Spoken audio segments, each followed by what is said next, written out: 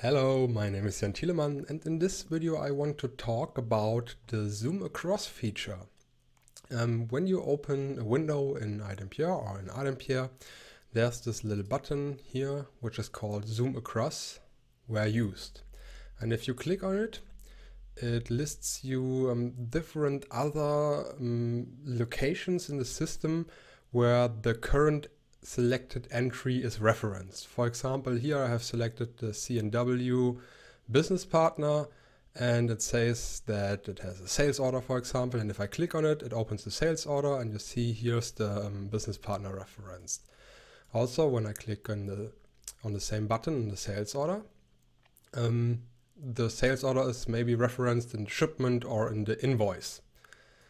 So yeah, another thing is I can jump to the shipment from here or to the user. You see here Carl Boss is uh, opened, which I also could access via this tab, but um, that's another story. And today I want to show you how you can add other entries to um, this list right here. So to do this, we have to um, go to the system client so I will just start another client here.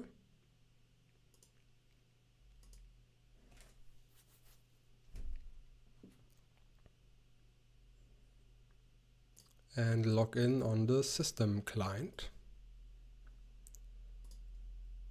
Now I can go to the um, system admin menu and open the relation type window. And here I can define custom relation types. So now I need a new relation type. So I click on new. And this is um, yeah on the on the star because I logged in with the um, star with every organization.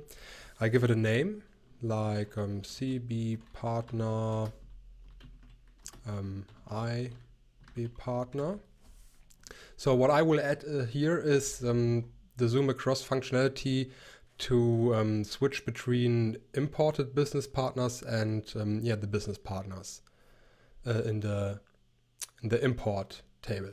So um, the type here is implicit. I save this entry and now I need two new uh, references. So I can zoom into this field and make a new entry.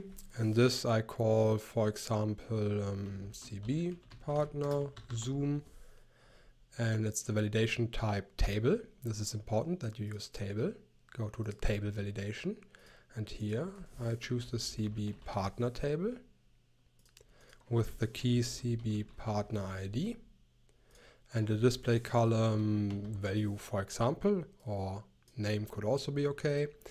And in the SQL where I enter CB partner dot CB partner ID equals at whoops equals at CB partner ID.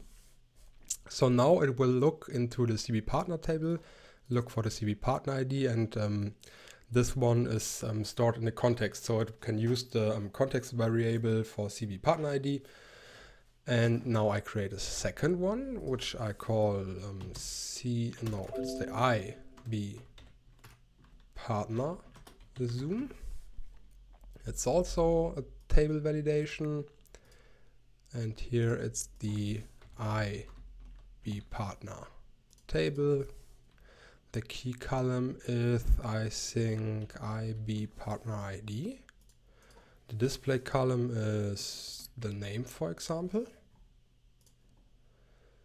And the SQL was IB partner.cb partner ID equals at CB partner ID. I can save this and close the window. Now I can use my CB partner. How did I call it? Or do I have to requery? CB partner zoom. There it is. And the target I choose the I B partner zoom. And now I told the system that I should be able to zoom from the CB partner window to the IB partner window. and um, yeah, back and forth. So I can exit my system window, go back to my um, my garden admin world, uh, my, my garden world window. And now, of course, I have to create an import entry first. So I go to data, data import, import business partner, create a new entry. And I will just fill it with test, test, test, test, test, test, test, test, and some tests. Okay, save this one, import it into my client. It's imported now. And now I should be able to jump to the business partner window. And you see the correct business partner uh, is selected. And from my business partner, I now also can jump to the import business partner. And I think that's um, a great functionality and it's really easy to um, yeah, to extend, to use your own fields. And if you're curious, um, because if you take a look at the relation type, there are some um, already uh, some types pre-installed in the database. For example, to jump between orders and invoices and shipments and vendor returns and customer returns and so on. And yeah, there are also some default um, zoom across functionality in the system, which are not stored in the relation type table. They are in the general, is it called general? Generic, the generic zoom provider, which implements the iZoom provider. And uh, if we take a look at this and see where it is used, then I think maybe we can also implement our own custom generic Zoom provider in a plugin. So let me validate this real quick. I'm not 100% sure about this, but I can imagine that this could work. So let me create a test project here. And now I add a new component definition yeah, that's okay. I don't care about the name because I just want to know if... Wait, did I select plugin? I, I believe I didn't select plugin. So let me delete this. So here, of course, I have to create a plugin project, call it test or whatever. In the manifest, I have to add the base plugin because there are most of the OSGI factory interfaces located.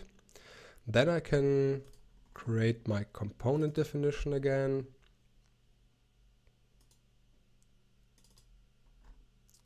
What's wrong here?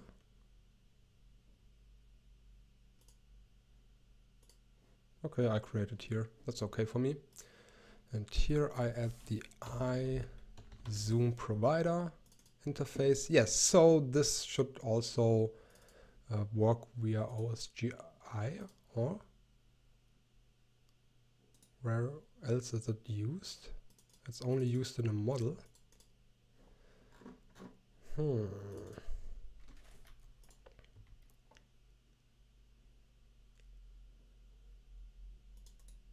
Where are those methods called? This is live debugging, my friends. I'm not 100% sure where else this is used or if it's available via OSGI. Mm.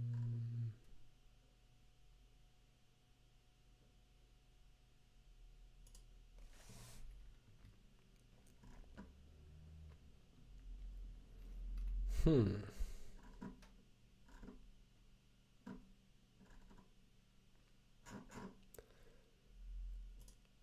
Okay, so yeah, may maybe it's possible to use it via OSGI. I haven't tried it out yet, and uh, if yes, then I will make another video about it and show you how to use it in OSGI. but it could also be possible that that is not um, OSGI ready yet. But yeah, you, you saw how you can um, create another um, target in the zoom across button here via the application dictionary and it was real easy. Um, in the SQL, you even can use a join to join over different tables and um, make your selection there. So this is um, really, really powerful um, to get information where all uh, where this entry is um, used. And yeah, I hope this video helps. And if yes, then please leave me a comment or give me a thumbs up. I would uh, really like that. And I see you in the next video.